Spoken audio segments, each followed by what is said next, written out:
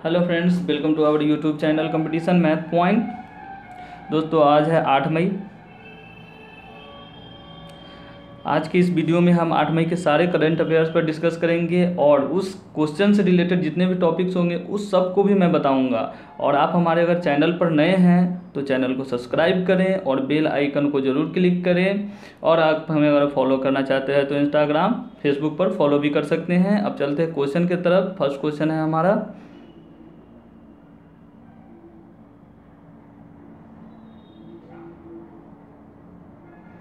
किस राज्य सरकार ने आयुष कवच कोविड एप्लीकेशन लॉन्च किया है? ठीक है? तो उत्तर प्रदेश सरकार ने आयुष कवच कोविड एप्लीकेशन को लॉन्च किया है, उत्तर प्रदेश की सरकार ने।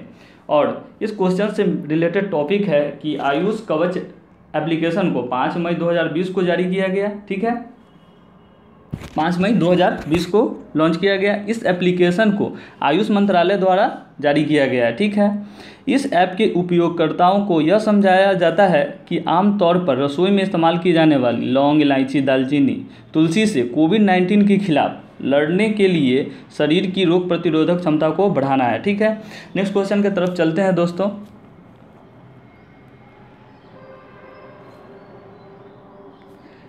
किस अंतर्राष्ट्रीय संगठन ने लॉस्ट एट होम रिपोर्ट प्रकाशित की है? ठीक है? तो यूनिसेफ ने यूनिसेफ ने लॉस्ट एट होम रिपोर्ट जारी की है। यूनिसेफ की बात की जाए तो यूनिसेफ का फुल फॉर्म होता है यूनाइटेड नेशन चिल्ड्रेन फंड ठीक है? यूनिसेफ की स्थापना 11 दिसंबर 1946 को हुआ था। यह न्यूयॉर्क शहर में स्थापित है, ठीक है? दोस्तों, चलते हैं नेक्स्ट क्वेश्चन की तरफ़ अब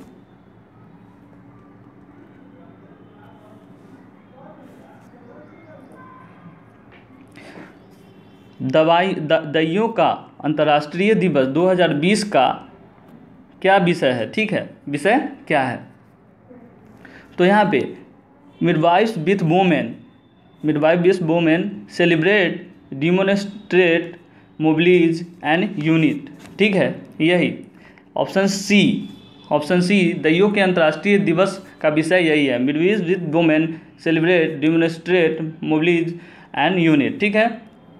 और इस क्वेश्चन में यह है कि पाँच मई को दइयों को अंतर्राष्ट्रीय परिसंघ द्वारा मनाया जाता है। सबसे मेन बात तो ये है, ठीक है? ये वे लोग हैं जो अपनी ज़िंदगी अपनी ज़िंदगी एक माँ और एक बच्चे की देखभाल में बिता देते हैं। यह उनकी समर्पण की भूमिका को उजागर करते हैं। चलते हैं दोस्तों, नेक्स्ट क्वेश्चन की तरफ़।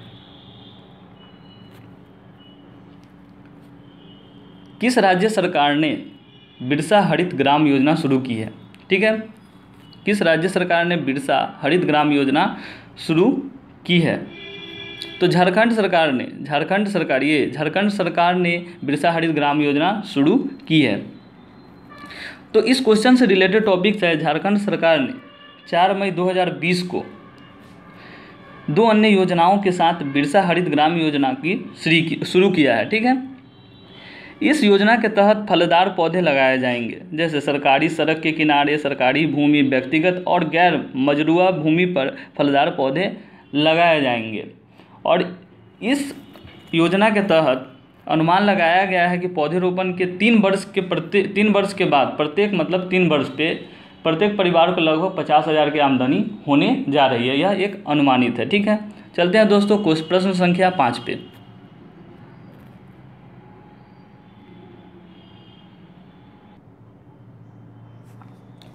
किस संगठन ने सुरक्षा दादा दादी और नाना नानी अभियान शुरू किया है? तो नीति आयोग ने, हाल में ही नीति आयोग ने सुरक्षा दादा दादी और नाना नानी अभियान शुरू किया है, ठीक है?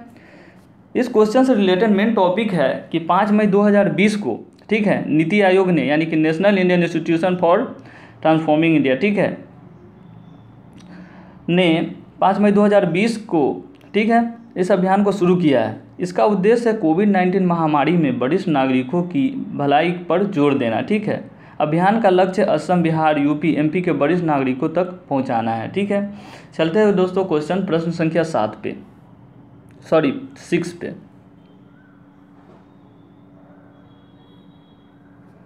किस राज्य सरकार ने निगाह योजना शुरू की है, ठीक है?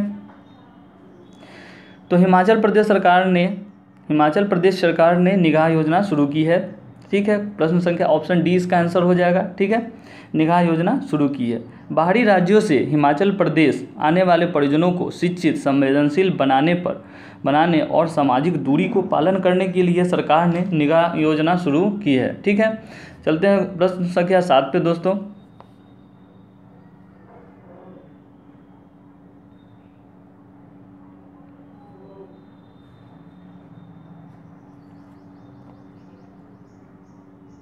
किस देश किस देश ने नेता को, किस देश के नेता को रूस द्वारा द्वितीय विश्व युद्ध स्मारक पदक से सम्मानित किया गया है? ठीक है। तो उत्तर कोरिया के, उत्तर कोरिया के किम जोंग जी को, किम जोंग जी को मतलब स्मारक पदक से सम्मानित किया गया है। ठीक है। तो रूसी संघ के राष्ट्रपति व्लादिमीर पुतिन ने 2011 के बाद से उत्तर कोरिया के सर्वोच्च नेता किम जोंग को उनके नाजी जर्मनी पर जीत की पचहत्तरवीं साल पे, पचहत्तरवीं साल पे एक द्वितीय विश्व युद्ध स्मारक पदक से सम्मानित किया है। ठीक है? चलते हैं दोस्तों प्रश्न संख्या आठ पे।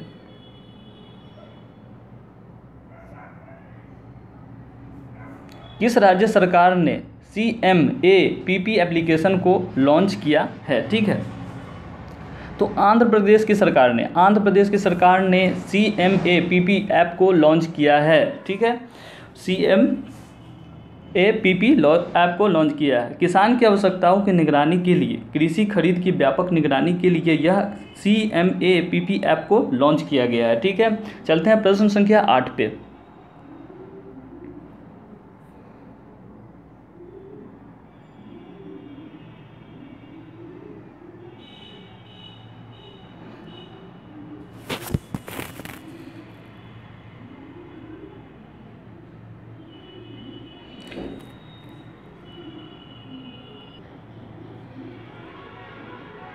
प्रश्न संख्या नौ।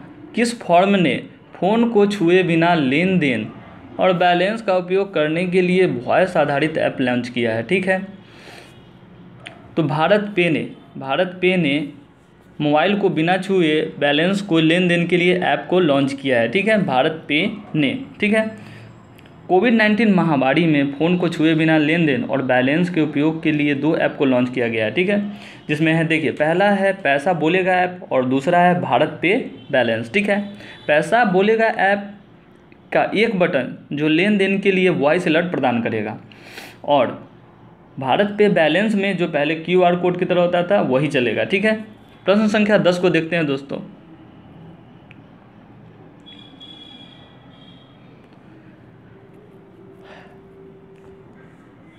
किसे UNESCO Guillermo Cano World Press Freedom Prize 2020 से सम्मानित किया गया है? ठीक है।